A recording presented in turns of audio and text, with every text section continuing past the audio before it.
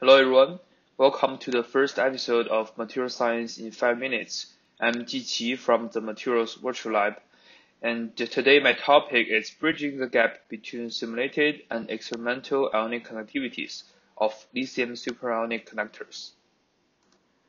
Let me briefly introduce what is lithium superionic conductors. As we know, lithium-ion battery is the enabling component for our electrical vehicles but they also cause safety issues, which can be traced back to the liquid electrolyte, which is highly flammable and highly reactive. So one potential solution for this safety issue is the all solid state lithium battery, which not only give us improved safety, but also a better performance. So the major difference of all solid state lithium battery is that their electrolyte is also in solid state. So the, the solid state electrolyte is required to be electronic insulating and ionic conducting. That's why they are also referred as lithium superionic conductors. And in last decades, ab initio molecular dynamics simulations enabled by the first principle calculation is largely used to study the ionic conductivity and diffusion mechanisms inside the lithium superionic conductors. However, there has been a gap between the AIMD simulated and experimentally measured ionic conductivities. Here I list two of the promising lithium superionic conductors. You can see that the room temperature ionic conductivity simulated by AIMD is a few times or even more than 10 times higher than the experimental measurements. From our study, this gap can be traced back to the limitations in AIMD simulations, which is the high computational cost and accuracy limited by the DFT functional used. So with high computational cost, the AIMD simulation is limited to below nanosecond scale. And uh, with this simulation time, we were only able to study ionic conductivity at higher than 500 Kelvin, where the uh, ionic diffusion is faster. And we assume a constant activation ba barrier and extrapolate down to room temperature to study the ionic conductivity there. However, this assumption does not always stand.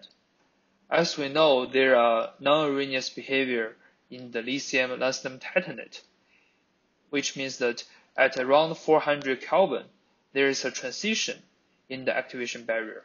So if we still assume constant activation barrier, there will, we will overestimate the room temperature ionic conductivity. In our study, we try to address AIMD limitations by machine learning interatomic potentials in brief MLAP.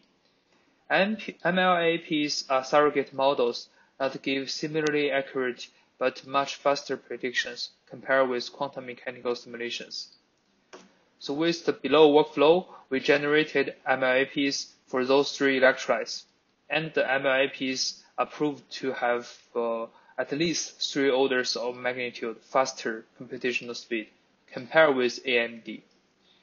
Okay, so with that, we were able to extend our simulation time to nanosecond scale, and our simulation cell can contain more than 1000 atoms. Also, we were able to use the more realistic NPT ensemble for our molecular dynamics simulation.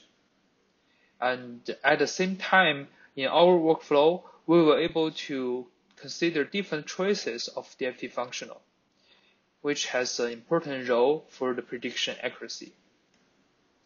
So with those MLAPs, we were able to simulate ionic diffusion not, not only at higher temperature, but also directly at room temperature regime. You can see that the simulated 300 K ionic conductivity matched quite well with the experimental result.